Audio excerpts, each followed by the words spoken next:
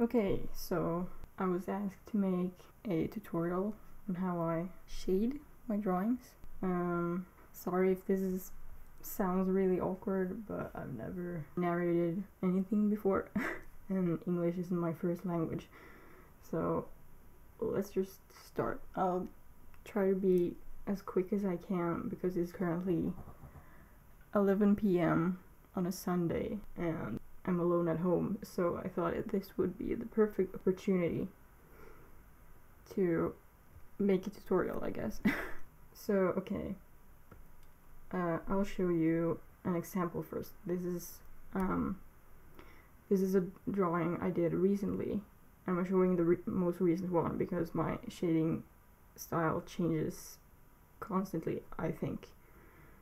So if I just remove all of these layers, for the line art layer of course, um, there's a lot of them, like that, you can see the the gist of it, I guess. Here's the layers. The two layers I use for shading. Um, it's the base layer, which covers most of the drawing. So if the, just hang on, if the light comes from here,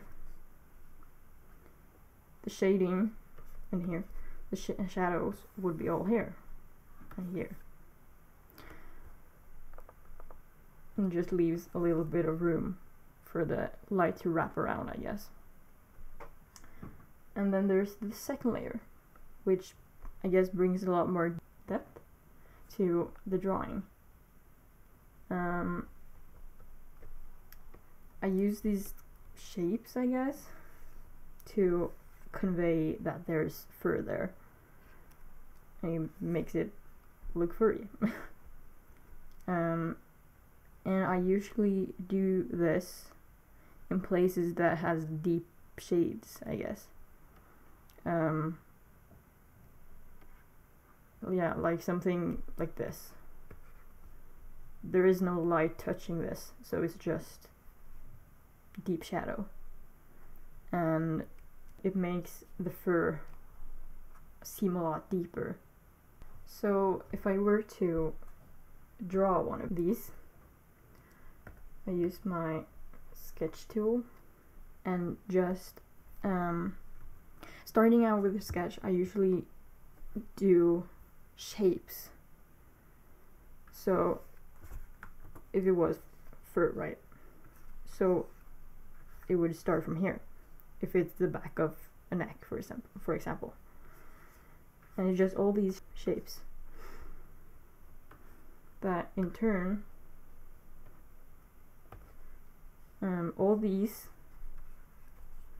can be creases in the fur like creases and overlapping fur. So if I just draw or sketch out from these quickly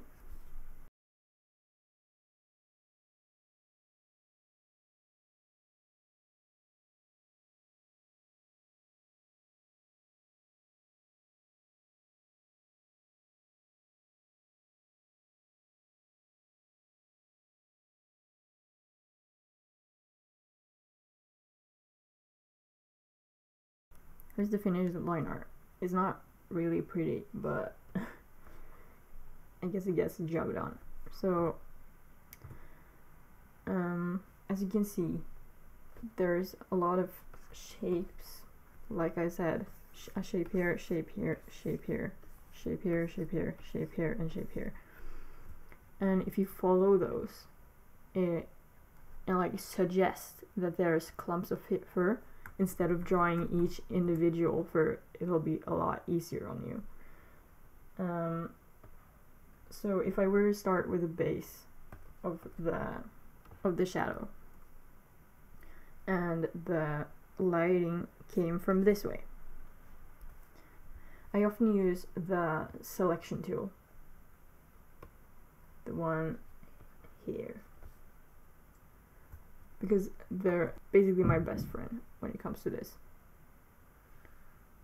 If you just follow the shapes like this, basically, just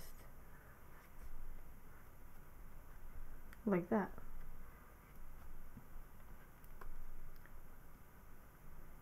You can even do this.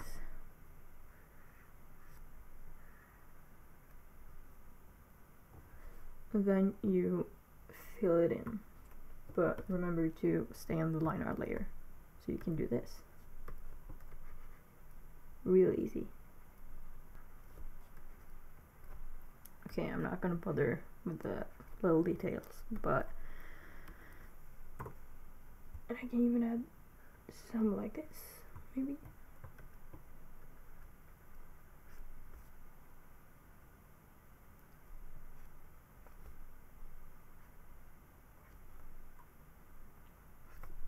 and while like this you can when you have it like drawn out like this you can start with the finer details like the undersides of strands of hair or just small um, strands of shadow that goes from one line to the other like that.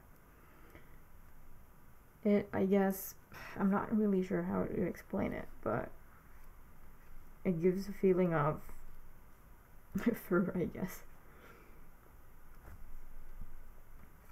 I don't know why I started doing doing it, but it looks nice, so I just do it.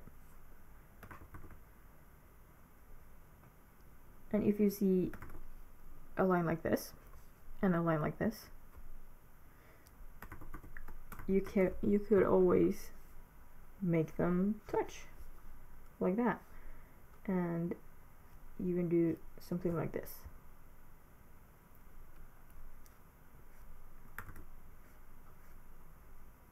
So like in in this drawing.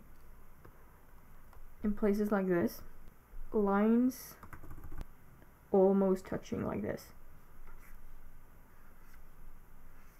Makes it look like the clump of fur is round. Right? I'm not sure how to explain it. It's really simple. And if you do that in minuscule amount, don't like overdo it because then it look pretty stupid. So simplicity is your friend in this case.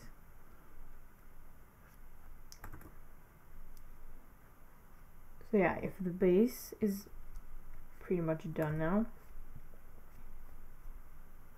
you can fill it in with, I usually go with blue because blue um, shading works with basically anything in my opinion. If we go to layer and fill, it's all filled in. remember to go back down to your color layer so you won't color your liner layer. I've done that many times. So here we have our base and if we add another layer we can start with um, with the selection tool again the selection pen and you basically go into the finer details and go like this places that I guess should be like that.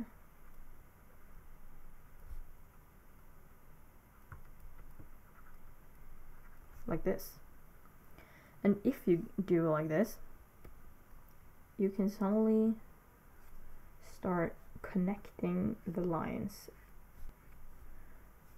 Sometimes I like to add lines that don't really touch or go anywhere but go back down to a different strand of hair.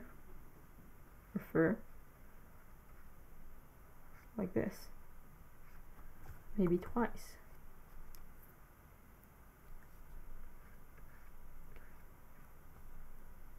Or three times I don't know. Sometimes fits. And if there's a place like this that has absolutely nothing in it and this you can add like a curved line. And it won't look so empty anymore. And you can even draw another curved line from there and over here. You see? Here too. It looks really straight here and we don't want that. So if I do something like this I know I say something like this a lot but whatever. It's not really pretty but it works. And if you see here is three lines. And that to me looks like a lot too much actually so I'm just gonna erase that and connect these two instead. So that there's only two lines. And this one is just hanging around.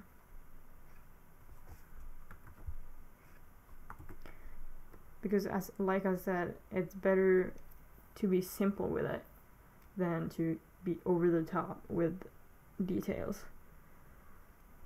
and you're gonna be thankful that you didn't sit on all the details because it takes a lot of time trust me. So like this. Remember two lines that don't touch they can sometimes touch like this. But not if they're like super thick lines. We're gonna do another curve like this and then a curved line from there to here. And then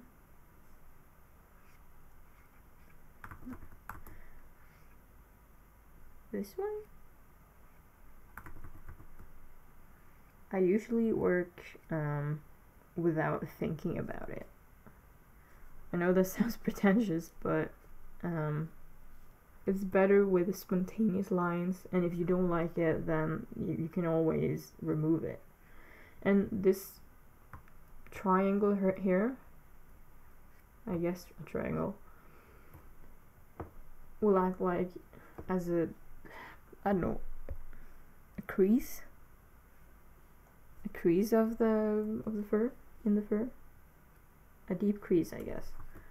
And you can add lines to and from it.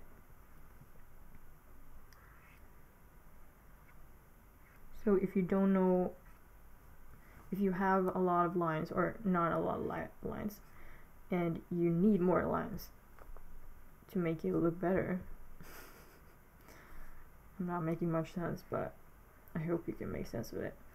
Um, you can add things like this where it fits and it'll look like a gap or a, a crease in the fur. Like like here. There's a gap a crease. Here's a crease. Here is a crease. And it'll just make it easier to spread out the lines and the shading.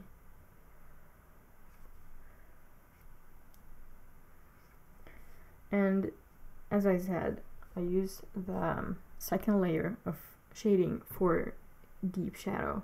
So places like this, you don't want to overlap that entirely. You want to only do small parts like this maybe places like places that a strand of hair will cast shadow on itself. And in here and in here here you can even do this. Another crease uh-huh. I really love creases because they just make the job so much easier. Back to the Kiva painting. You can see I made a crease here and I guess you can call these creases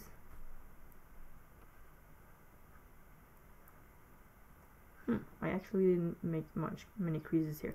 I made some creases with the um, with a base shading here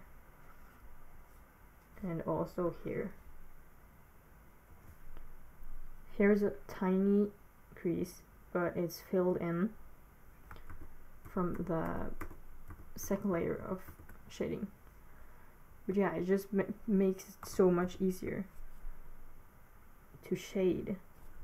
And if I go from the strand of hair here, and you see there's a hair here, here, here, and they could touch like this. So easy. And suddenly you can see that there's a lot more dimension. And we can add another here. Another line.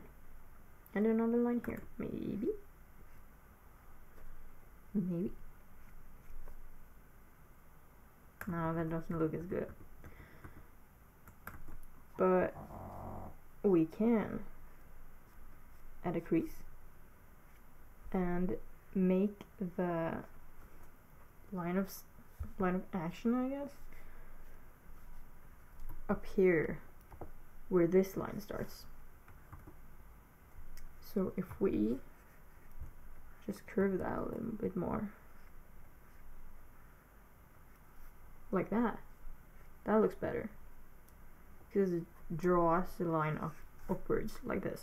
And in this, this is a completely separate um, strand of hair. So you can you can play a lot with that. I love curved lines over each other. if you haven't gotten that yet, it's, it's just really nice. And then I usually add like a triangle like this, and that's usually all I do for this for these ones. Maybe another one for here. Because that's all it needs. And you can same as you can do the same here. Over here. And it won't look stupid. Another curved line here. Just if if the clump of fur is um, wide like this and this. You can mm, almost always use these curved lines going over the entire thing. In my opinion, you can do that. And here I can even add another crease so that we can add this line, connect that line to this. Like that we don't even need to do much here. Just another line like this.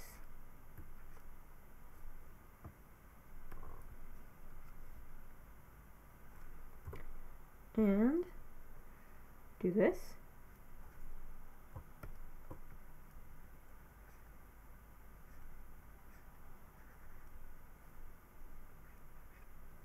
It's just really testing it out and seeing if it looks good. And if it looks good great. If it doesn't then you just remove the line and start fresh. Here you can see I drew a line here. So we'll add a crease right here. That makes the line make sense. We can even do it here and here you can see I made the I guess the lines overlap. I'm not sure why I do it but yeah I do. So I can do this. And this again. Curved lines. So easy. And a triangle again. Ta-da and another crease here I'm just calling them creases. I'm, I'm not really sure what they are. I don't know if you can hear my dog snoring in the background, but I hope you can. can't. I hope you can't. And these creases can lead with a just a straight line up here that just goes here and doesn't touch another strand of hair. It just suggests that it does. And that's my favorite thing when something suggests to your eyes that it does something, but it doesn't actually. Does that make sense? And we can add a line here. And especially here. And here.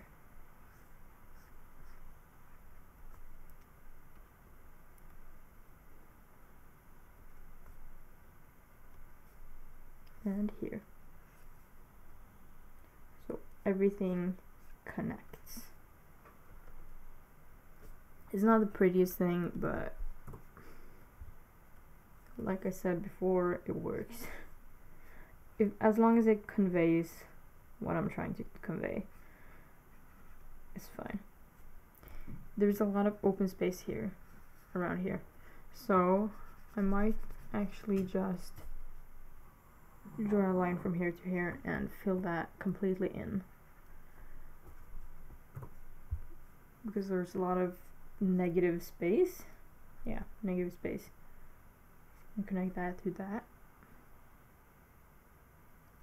And this to that. And often I as you may have seen this video I flip the I flip the canvas a lot, and that just gives a new perspective about where to place things, and makes you more aware of the of your mistakes. So that's what I why I do it so much in my speed paints.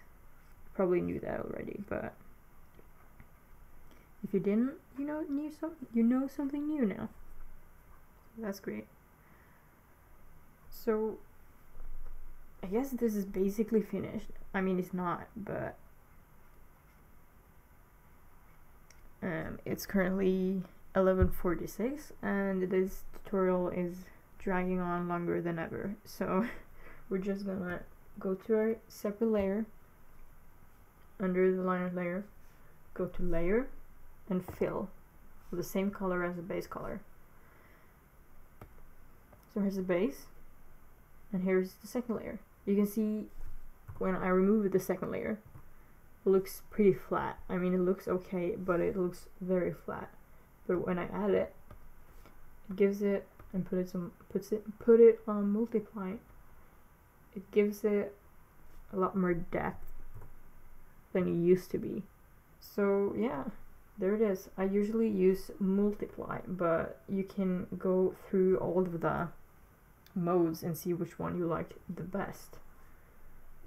Um, and sometimes I'll add, I go to effect and add a fringe. So if you zoom in, you can see there's a tiny border around the painting, around the color, yeah. And you just, I don't know, it looks good. add that to the other one too. That makes it look pretty nice I think. And I'm just gonna go over this pretty quickly but hues are a pretty good thing to use too. So um, if if you have a background or something or there's an atmosphere you're trying to reach um, for example dark places or nice sky or something, then you might use a blue a blue sh shadow or in a dark animal. But on a light animal, like a brown animal, you might want to use yellow or orange or red as an as a color and then you go to filter hue and saturation and you can just play around with it like this. You see how if I move it to the end where there's like red and orange, it changes the atmosphere completely. It makes it look like it's a sunset. That animal is standing in a sunset or something.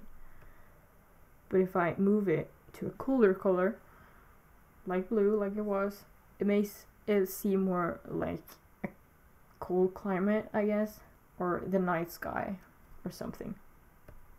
And you can, uh, both of the colors, no, both of the bases, both of the shadows, uh, doesn't have to be the same color. The base could be blue and the other the other shadow could be red, for example. I mean, it doesn't look great, but it doesn't look bad either.